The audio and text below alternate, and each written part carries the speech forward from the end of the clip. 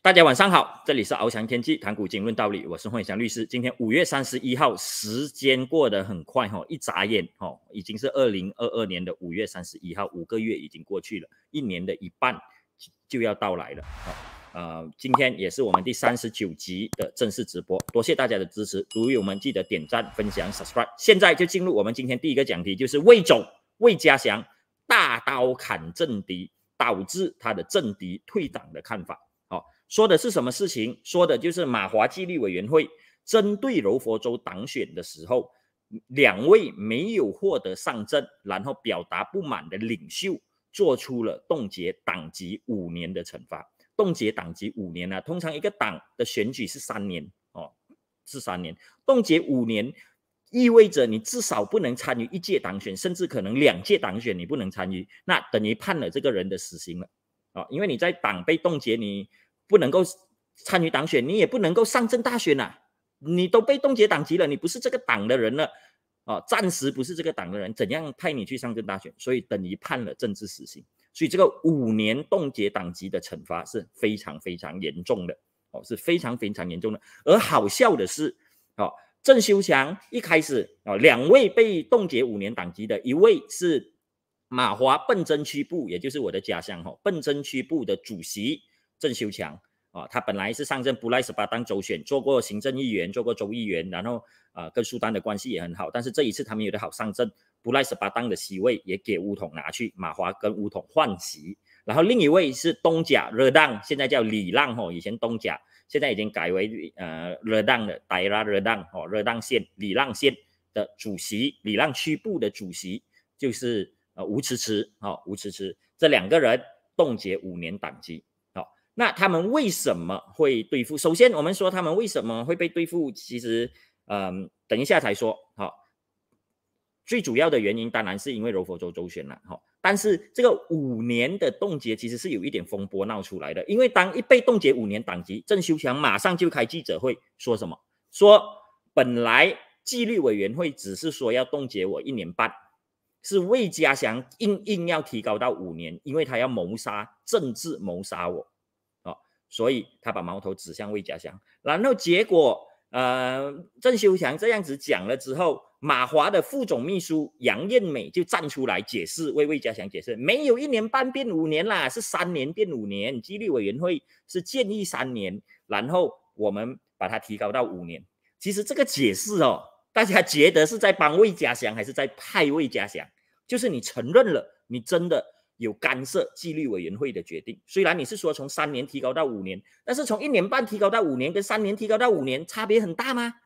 差别其实没有很大。这个解释让我想到，有一个人说我没有谋杀他，我只是拿刀砍了他很多刀罢了。哦，我没有谋杀他，我砍他很多刀罢了，就是这样子白痴。所以我一看到这个杨艳美哦，拿毒杨艳美这样子的解释，我觉得搬起石头来砸自己的脚哦，很很很很不 make sense，很不 make sense，嗯。当然，呃，我不知道他是呃要害魏家祥还是要帮魏家祥啊？但这个解释很明显是没有帮到魏家祥的哦。那我们谈一下他们被冻结的原因。其实两个人的冻结，两个都被冻结，然后现在两个都退出马华了嘛？吴迟迟也退出马华，呃，郑秀贤也退出马华。因为你不退出，你也是死路一条。你党结被冻结五年就是死路一条。刚才我们已经讲了。但是老实讲，你说要对付吴迟迟，我觉得是对的，但是。对付他五年会不会太严重？这个就有一点过火了啦。一年半两年，我觉得是 OK，或者是一年。好，呃，为什么对动对付吴迟迟是有理由的？因为很简单，因为他真的在柔佛州选的时候害到马华输掉东家。当时吴迟迟是做了影片，是拉大队，好啊，去骂这个候选人，然后去骂马华中央，然后呃呼吁区部悲歌这次的州选。哦，就是不要投给自己马华候选结果马华输五百多票罢了啊！大家还记得我当时分析说马华是有机会赢下的，马华稳赢四席，然后有两席是有机会赢下的，其中一席就是东甲嘛，而这个席位才输五百票罢了。如果没有吴迟迟这样一搞，哦，啊，吴迟迟在东甲做过多届议员，而且他在那边的影响力很深哦，黑白两道讲直白一点，黑白两道都吃得开哦，呃，了解的人就了解，我不要讲得太明白，好，嗯。他这样子搞一搞，确实很可能让马华少了五百票哦，让五百个人不出来投票，所以吴迟迟确实让马华丢了席位，然后呃，这个应该被对付，肯定。任何政党谁做出这样子的事情，悲歌自己党的候选人，叫他不要投给他啊，这个肯定都应该受到对付，所以吴迟迟受到对付是没有问题的啊，但是郑修强就不一样哦，郑修强他没有悲歌，也没有叫大家不要投马华。他骂魏家祥罢了，他骂魏家祥说魏家祥典当了党利益，为了不让我上阵，竟然把布莱斯巴当这个可以赢的一席换掉。哦，他说是魏家祥换的，换的目的是为了不给他上阵。哦，其实郑秀强这样子讲也很正常，我也觉得符合逻辑。我之前已经分析过了嘛，布莱斯巴当是马华，如果马华上，由郑秀强上，那是稳胜的席位，而且胜了之后，郑秀强。百分之九十会当上行政议员，哦，因为他有资历，然后他也是呃云云新人里面最有经验的，然后他跟苏丹的关系又很好，哦，有一年苏丹还特别邀请他，华人新年的时候邀请他一起来吃饭，所以他把一个马华必，我讲的他是魏家祥，把一个马华必赢的席位去换一个不会赢的席位，比如斯古代。去换一个包书的席位，这个是魏家祥的错。那魏家祥可不可以被骂？当然可以被骂嘛，这个是党内民主哦。所以郑修强他是拿这件事情来骂魏家祥，其实是没有错的，不应该受到对付的。好，你去对付他是不对的。而且重点是他没有像吴迟迟一样悲歌布莱斯巴当哦，或者是悲歌马华其他的候选人哦，开直播开影片叫大家不要投马华，不要投吴统。他积极落力的助选，尤其是在笨针区，好，笨针区他积极落力的助选，所以你有什么理由开除他？他没有背叛党，哦，他没有背叛党，所以很明显，你大动作冻结他党籍来对付他，本身就不对。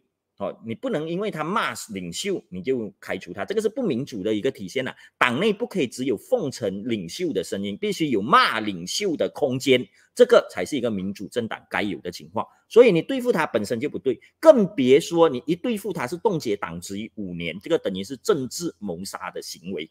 好，所以魏家祥肯定是理亏的，百分之百理亏，他是借纪委会的刀，借纪委会的手。来铲除掉一个潜在的敌人。哦，因为你要知道哦，嗯，郑修强其实搭档过严炳寿，一起竞选过二零一八年十一月的马华当选，当时严炳寿输给魏家祥，只拿一百八十二票，严炳寿。哦，魏家祥拿四百四十七票，但是郑修强拿的票是比严炳寿高的啊。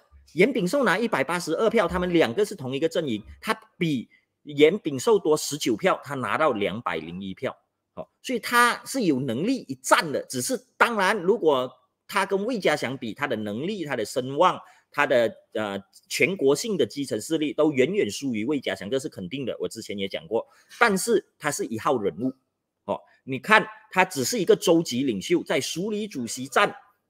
得的票都会比一个远远名声比他高的严炳寿的得票还要高。当时甚至有人认为，呃，郑修强是有机会把马汉顺给拉下来的哈。当然最后没有了，马马汉顺也是大胜啊，赢了四百多票。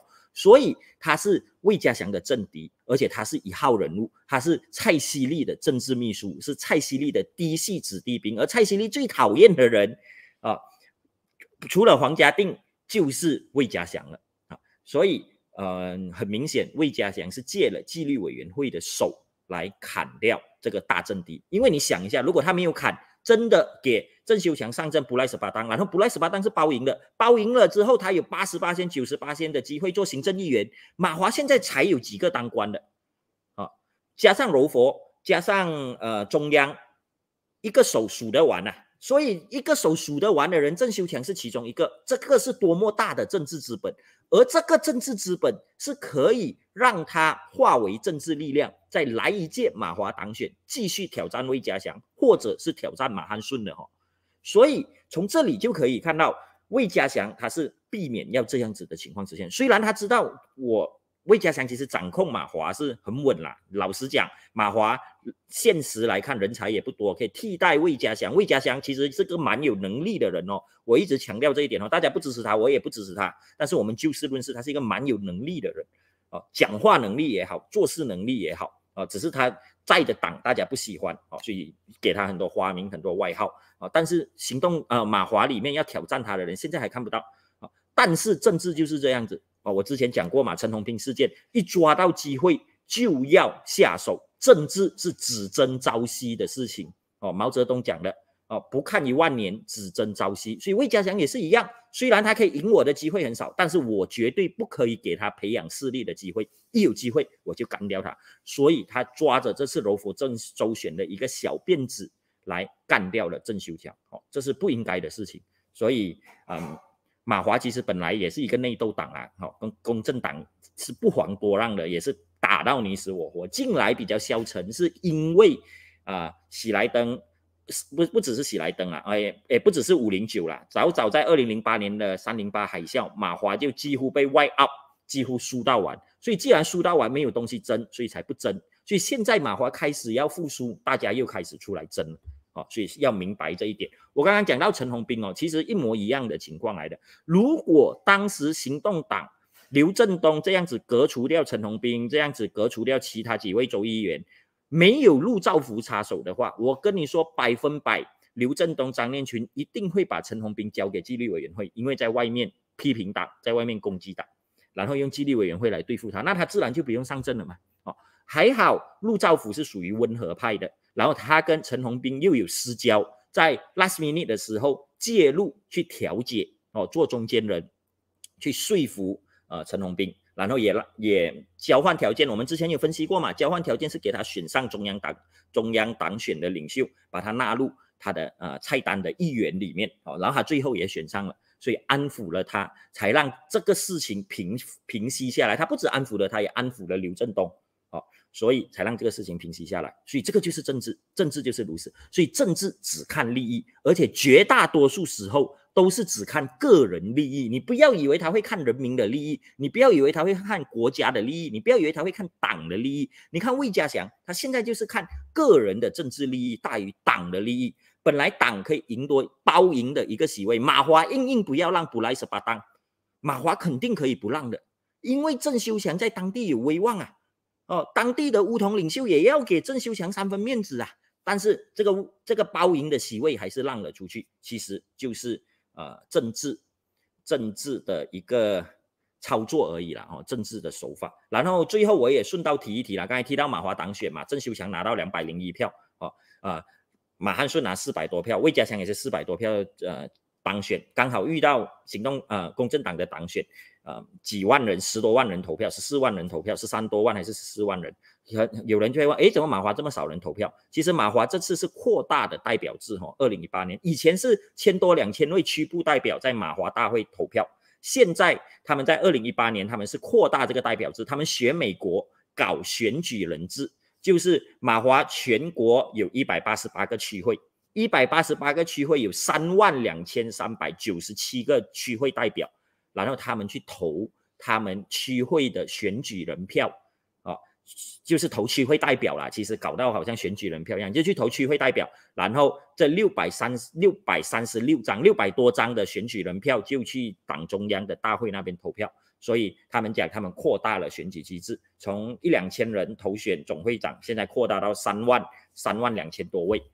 这个是马华讲的啦，哈，当然，但是实际投票的人数是变少了，好，呃，当然，我之前说过，讲资历、讲资格，魏家祥是包赢郑修强啊，你叫我，如果我是马华党员，你叫我在总会长选两个里面选一个，郑修强也好，呃，魏家祥两个选一个，我一定选魏家祥啊，但是我不是马华党员，我不，我也不会支持马华了，哦，但是。啊，虽然魏家祥是比较好的选择，也是比较有能力的选择，但是有一说一了，在这件事情之上，百分之百是魏家祥的错误，是一个政治操弄，是一个借刀杀人，然后呃出卖了党利益的事情。好啊，是这样子。当然，你是西门西支持者，你会幸灾乐祸了哈，你会幸灾乐祸。但我不是以幸灾乐祸的角度来评论，我是以有一说一，就事论事的角度。好，就像呃。啊，我批评其他政党做错的就应该骂了，哦，做对的就应该赞，就是这么简单罢了。不要因为你哎是行动党的，我们不要骂。等下这个是第二个讲题要讲的哦。好，那我们休息一下，大家第一个讲题就讲到这里哈，我们休息一下，先看。